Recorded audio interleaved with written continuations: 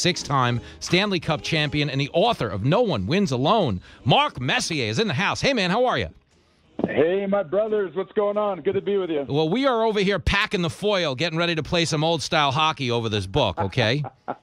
Here's, okay, that sounds good. Packing the foil, I love it. Here we go. I got the the Hanson brothers are following you around today. It's going to be a tough one. We're putting in the enforcers. Um, I am uh, as a guy. You should know this. I grew up uh, in New York, and I was a long time cab driver before I made it to Fox and got on the radio and got on TV. And I will tell you that to this day, even though I'm from here and I'm a native of New York, no one has ever given me a free ride in a cab. And I was reading early on in your book how somebody gave you a free ride, and I was like, that's BS, man. Yeah, what's going on with that? Yeah, I was as surprised as anybody, to be honest with you, that uh, even recognized me. But uh, I think it goes to show what uh, or how important that championship was in New York and how it resonated with many different people. Yeah, no, that's definitely true. And I, but I just I want you to know, in the interest of full disclosure, because I grew up on Long Island, about a block from the Nassau Coliseum, I would have charged you in my cab. Of course, but that's that's what makes hockey and the sport so beautiful. Everybody has their favorites. I would have charged you and your Potvin sucks chant all the way for the ride to the Garden. Um, and I would have I would have smiled and paid you double. I love it. I love it. That's great. Well, listen, I'm thrilled to have you on. The book is great. I want to dive right in on a couple of things that I really was fascinated by uh, in this book. And one of the things uh, that jumped out at me right out of the gate is the fact that you talked about something. It's a term I use a lot on the radio when I'm talking to people. I call it family privilege. And what I mean is probably more important than money or anything else is if you have a family infrastructure that actually preaches accountability and ambition, you have a competitive advantage in life that I don't think we put enough emphasis on. Would you agree with that? Well, I can only speak from my own experience, mm-hmm. and that I was very lucky uh, for a number of reasons. One is uh, my mom and dad got married. My mom was 17, my dad was 21. They had mm-hmm. four kids in five years, and we basically grew up together. We were a really close family knit uh, unit. We traveled together, we holidayed together, we did everything together. Mm-hmm. And uh, I, and and then, and then on top of that, my dad was a hockey player, so I got an unbelievable education in the game of hockey from many different perspectives. But uh, you know, I think uh, the early on upbringing of uh, of anybody in a in a in a family environment that uh, is uh, close knit like that is very beneficial. Mm-hmm. Unfortunately, that uh, you know I played with many uh, players that didn't have that, yeah. and uh, and uh, you know, like I say, it's uh, every player has uh, challenges and hurdles they have to overcome to make it anywhere, and and certainly we saw uh, examples of that over the years. Yeah, definitely, definitely, definitely. Um, I, I, I always say, you know, I have my wife and I, we have one kid. Uh, the state would never let us have two. You know, they, okay. you know, they saw that first report card and they were like, "Yeah, you guys are you can't breed anymore. That's that." Uh, but no, I, I, I do feel that as parents, you know, we play such a bigger role than a lot of people realize. We're all the captain of our own house, and uh, I just I love that you wrote at length about your family. Another thing I wanted to ask you though about your upbringing. Now, when you were talking about you know the incredible experience of playing in Madison Square Garden and how you had such a reverence for the place as a kid, did you really cry when Muhammad Ali lost the decision to Joe Frazier in 1973? I was a huge uh, Muhammad Ali fan. I, I just couldn't believe what a uh-huh. what a personality had, uh, what he stood for. Um, you know, he was just incredibly uh, inspiring as a, as a young fella. Um, and I did. I listened to the uh, Madison Square Garden fight uh, in, in uh, 1970. Yeah, I that's believe. what it was. The first one, yeah. And it was it was amazing uh, on a transistor radio under my pillow because I was supposed to be asleep going to bed uh, before before school. But uh, yeah, that was uh, really disappointing. But you know what's even more important about that is that when I finally did get to meet uh, a childhood idol of mine, uh, uh-huh. he uh, far exceeded every expectation I had of a per, of a person. He was a beautiful man. Uh, he just was so engaging, so accommodating. Just mm-hmm. was one of the best experiences of my life. Yeah, it's amazing, and he was the man. And uh, I kind of relate because I cried when Mike Tyson lost to Buster Douglas, but only because I had bet the fight. Yeah, well, that's right. I mean, there's always different emotions that come up with. oh, that's funny. If you're just joining us, Mark Messier is on the line. His new book is called No One Wins Alone. Uh, no, it is not a dating app. It is a, a recollection of his time in the NHL, and I do. I love the book. Uh, one of the things you talked about that I thought was fascinating is because this book really is honing on in on the importance of teamwork, is you drew a comparison that a lot of our listeners, who if, if they aren't necessarily sports fans, uh, they could see where this comparison would hold up. You were talking about the Rolling Stones and how they're really a great metaphor for the importance of teamwork. And I actually thought it was a br- it was a brilliant comparison because you can't be the Rolling Stones if the team doesn't have clubhouse chemistry, right? Well, I I wrote about them because first of all, I, I, I love the Rolling Stones. Uh, you know, they've been together a long time. They'd seen a lot, uh, done a lot, experienced a lot. And to your point, uh, you know, everything that a hockey team uh, has to go through, uh, you know, a band like that has to, you know, is is, is faced with the same challenges. Uh, mm-hmm. You know, can they sustain themselves over an extended period of time? Uh, does ego get in the way? Uh, distractions, all the mm-hmm. things that uh, we know that have come to tear apart teams.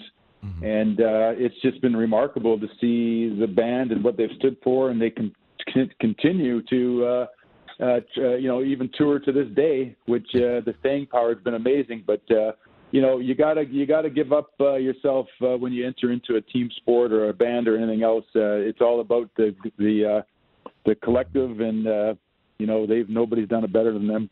Now, do you think uh, you could have played as many seasons in the NHL as you did if you had the same pregame ritual as Keith Richards? Uh, I gave it my best, and I was able to play 26 years. It's a great answer. That's a great. That's a, that's a great answer. Okay. Well, we talk about you playing, which is obviously, you know, here in New York. I always laugh because when people say like, "Oh, Messier, he'll never have to buy a beer again," that's also not a good thing sometimes. You know. Well, for me, I came to New York. that, that's that's true.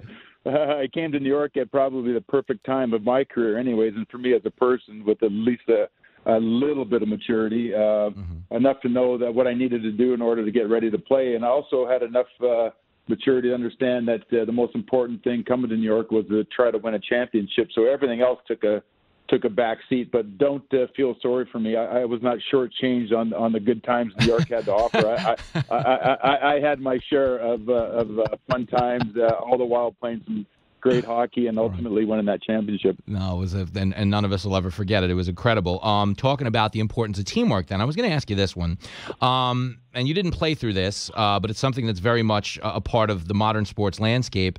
As a guy who is as big as you are on on the importance of team, um, are you a fan of vaccine mandates, or do you think the players should be choosing for themselves? Like, where where do you find yourself if you were active right now?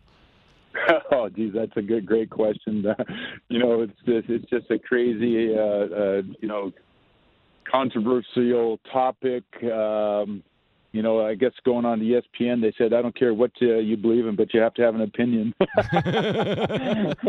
guess that comes with the territory, but. Uh, you know, I think sometimes uh, uh, it, it the, this one's hard uh, for a number of reasons. One is uh, you never know what underlying uh, health uh, uh, factors some players may or may not have.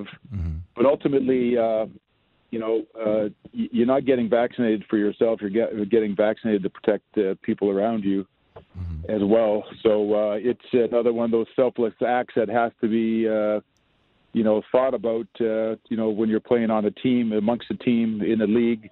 Mm-hmm. And, uh, and and you know it, it, you always surrender, surrender yourself for the for the bigger uh, for the bigger oh, okay. uh, team so, or bigger group, but. Mm-hmm. It's, it's tough. I get that it's tough. And then I say that, okay, because it's interesting because, you know, the big debate here in New York right now is Kyrie Irving on the Brooklyn Nets, a phenomenal player. Um, you know, he doesn't want to get the vaccine because he feels like he's already had COVID. And, um, you know, uh, there's a lot of people on the other side of the aisle saying, you know, but you should because you do have to give yourself up for the good of the team. And uh, my guess is if you were playing, that's where you would find yourself. As if you yourself were against it, you'd probably, or at least on the fence, you would probably give yourself up for the good of the team. Well, look, at there's choices and consequences. You can make any choice you want. Then you just got to, you know, you know, mm. deal with whatever the consequences come your way. So, yeah. for me, I'd decide I'd decide whether what I want to do, not to get a vaccine or play. If I wanted to play, these are the rules that I have to play by. I mean, it's mm. a it's a big sandbox, and you know, there are rules, there are things that you have to follow, and and if that's what's mandated by the league, and I want to be a part of the league, that's what I got to do. Now, if I choose not to do that, that's fine too. It's you know, it's it's your choice. You're you know, everybody has the right to choose what they want to do, but yeah, you know, you, you, know that's that's kind of where, where I lay with okay. it. That's fair. No, that's fair. That's a great answer too. Um, if you're just joining us, Mark Messier is on the line. Uh, his fantastic new book is called No One Wins Alone. I wanted to ask you this because you were talking about how Wayne Gretzky called you on the phone in the locker room when you knew you were getting ready to play uh, what would be your last game in the NHL. And you guys spoke about retirement and how one of the upsides was, you know, all of the holiday celebrations you missed during your playing career uh, would now be on the schedule. But my question to you is do you ever catch yourself hanging out with your family like two hours too long, going, man, if only I had a game to get me out of this? well, he did phone me, and it was a nice uh, uh, conversation. And uh, you know, just wanted to wish me luck. He had been through it himself, so he knew what I was up against. Uh, you know, closing a, a career out. Uh, but uh, you know, uh, we were lucky to have a family that uh, had all the uh, usual uh, uh, family. Uh, uh, uh, dust ups, if you will. the gloves went down, huh? No, I love it. I grew oh, up in one of those too. oh, that's that, that's all part of it. It's all part of the learning process, and you know, getting to having something happen, getting over it, and you know yep. how it is. But uh, no, I loved our uh, family uh, gatherings at uh, all the holidays. There, my mom always made them special. She went overboard to uh, decorate the house for every occasion. It was and uh, and and the the celebrations uh, were uh, were rich with the with uh, lots of uh, lots of drama and lots of laugh and lots of crying and lots of love uh, at our house. Oh, I bet. Now we we uh, I got to tell you, I, I, grew up in a very very similar environment, so I get it. You, you know, you really are playing a full season every year is a is a new season, a new new championship quest. Uh, so this last question I will ask in, in, in honor of some people in my family who are big uh, car people. Did you ever hold on? Did you hold on to that 930 turbo? Uh, that you had gotten uh, when you first signed uh, your first big contract, or did you move on? Oh my goodness, you you uh, you hit a sensitive spot with me. Oh, One man. of my favorite cars. I, uh, I I actually had it shipped to New York and drove it for a year or two here in New York, and the road, as you know, the roads and keeping it in an underground uh, parking garage. It, yeah. I just felt so bad. It was, the car wasn't being treated properly, and I ended up uh, I think I might have shipped it back and sold it to somebody. I can't remember, uh, but I the biggest mistake in my life was letting that car go. Oh man, well I'll tell you, there's no car in the world that would be better off if only it was driven on the streets of New York a little bit more. You know, this is. Uh... yeah. Well, well, there's a few, there's a few of them, but that one was special for yeah. a lot of different reasons. But uh, yeah, agree. that that uh, that was a that was a tough day. Yeah, no, it's fantastic. I I, lo- I love the story though about you spinning it out because uh, I I listen. I have great reverence for those cars, and uh, the thing about the mid-engined car is uh, there is sometimes a little bit of a delay on that gas pedal, and you do things, and uh, you know the next thing you know you're in a viral video for the wrong reason. So I'm glad you made it out. Yeah, well, a little, little, bit of understeer, a little yep. bit of uh, lag in the yep. turbo, and next thing you know, uh, tried to cut that traffic circle a little too tight. hey man, it's a long season, nobody goes undefeated, right? That's um, right. That's right. Listen, that's right. It is a, a fantastic book. Uh, it is called No One Wins Alone. I, it was really a high honor to have you on the show today. I do believe our engineer Josh has fainted because he's a big Rangers guy. He's got a foam finger on in the booth, minimal amount of face paint, you know, because we're in a work environment. But uh, this was a win for all of us. So thank you for your time today. Hey, I appreciate being on with you. And Josh, uh, tell Josh I said hello, and let's uh, let's go Rangers. There it is. There it is. He actually did faint now, so I'll go revive him. Thanks, Mess. You're the man.